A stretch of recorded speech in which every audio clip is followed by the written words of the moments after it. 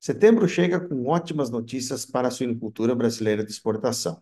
Aliás, o segundo melhor desempenho da história da nossa suinocultura de exportação em volume e em receita cambial. No mês, vendemos mais de 120 mil toneladas, crescimento de 7,3%, com receita de, de 283 milhões de dólares, 15% a mais. Quando olhamos o período acumulado de janeiro a setembro, as vendas foram de 990,7 mil toneladas, quase um milhão de toneladas, crescendo 7,7% contra o mesmo período do ano passado, trazendo uma receita de 2,16 bilhões de dólares, 0,4% a maior.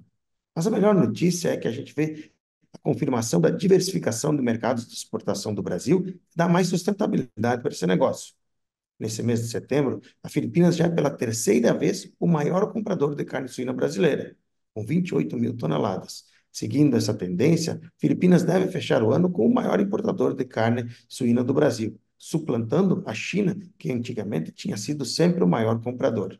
Mas a China continua comprando muito bem, também temos aumento no Chile, Hong Kong, Japão, México, Argentina, mostrando que a suinocultura brasileira está preparada para auxiliar na segurança alimentar, mas também ter sustentabilidade nas suas exportações, com diversificação de mercados, mantendo o Brasil como protagonista e como o quarto maior exportador do mundo.